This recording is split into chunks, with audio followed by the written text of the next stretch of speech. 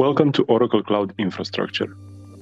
In this video, I will show you how to locate your tenancy and compartment OCID, Oracle Cloud Identifier, in the Oracle Cloud Console.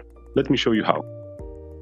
In the OCI console, click on the profile icon on the upper right side of the page. Click on Tenancy. You will then see your tenancy information the tenancy OCID, and also other relevant information such as your home region and CSI number. Alternatively, you can click on the hamburger menu and in the search bar, search for tenancy details under account management. The same tenancy information will be displayed. Now, let me show you how to locate your compartment OCID. Click on the hamburger menu from the upper left side of the screen, and in the search bar, type compartments.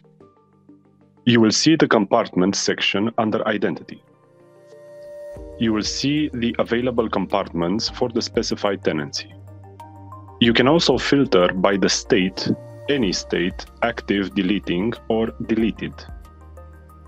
Click on the desired compartment name to view the compartment details. You can copy the compartment or OCID from the compartments list or by clicking the compartment name to view its information. The compartment or OCID is displayed under the compartment information. Thank you for watching. Hope that this video was helpful.